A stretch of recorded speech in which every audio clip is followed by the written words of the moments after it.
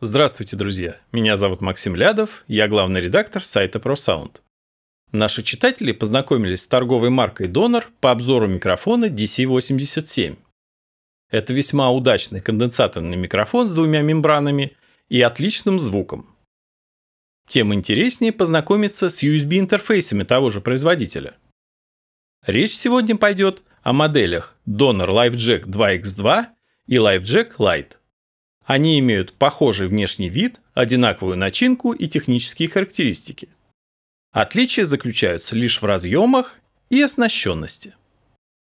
Младшая модель LiveJack Lite имеет один микрофонный и один гитарный вход. Для индикации перегрузки здесь служат светодиоды.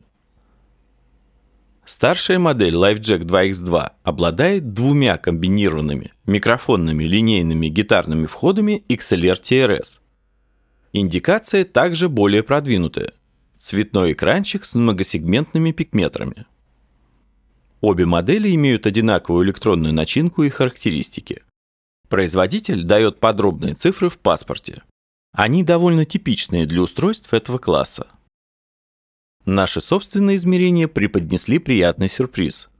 Производитель обещал нам 103 дБ, мы получили около 108 дБ. Также по искажениям цифры гораздо лучше, чем указаны в паспорте. Спектр чистый, отсутствуют гармоники высоких порядков. Электронная начинка интерфейса современная и не уступает мировым лидерам по примененным компонентам.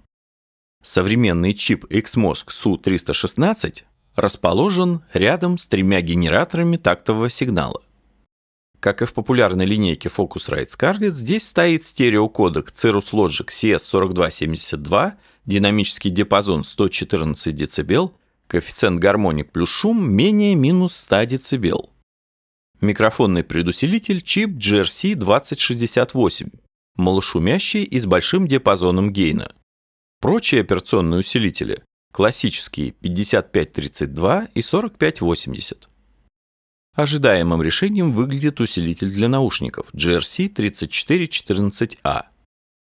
Максимальный размах сигнала при этом выше среднего – 1,7 вольт РМС. Производитель поставляет полноценный ASIO-драйвер, который поддерживает форматы записи и воспроизведения до 24 бит 192 кГц. Задержка при буфере 64 сэмпла и частоте 44 кГц довольно стандартная – около 8 миллисекунд. Оба интерфейса имеют возможность подключения профессиональных конденсаторных микрофонов, требующих подачи фантомного питания плюс 48 вольт. Запас по гейну довольно большой – 55 дБ, а цветной экранчик помогает подстроить уровень записи. Оба интерфейса имеют средства аппаратного мониторинга без задержки. В старшей модели есть удобная ручка баланса между входным сигналом и фонограммой. На задней стороне обе модели имеют балансные выходы TRS для подключения активных студийных мониторов. Старшая модель ожидаемо более универсальная, так как она имеет дополнительный выход стерео RCA, а также разъемы MIDI. Интерфейсы питаются от современного разъема USB-C. Кабель подключения идет в комплекте. Выход для наушников имеет отдельную регулировку уровня, что выглядит весьма продуманно. И вишенка на торте – большая удобная ручка громкости, которая вращается плавно с небольшим приятным усилием. Она отвечает за уровень громкости в мониторах. Мы не столкнулись с какими-либо трудностями в реальной работе. Достаточно подключить микрофон, наушники, и можно с комфортом записывать голос и инструменты в любом музыкальном софте с Азио.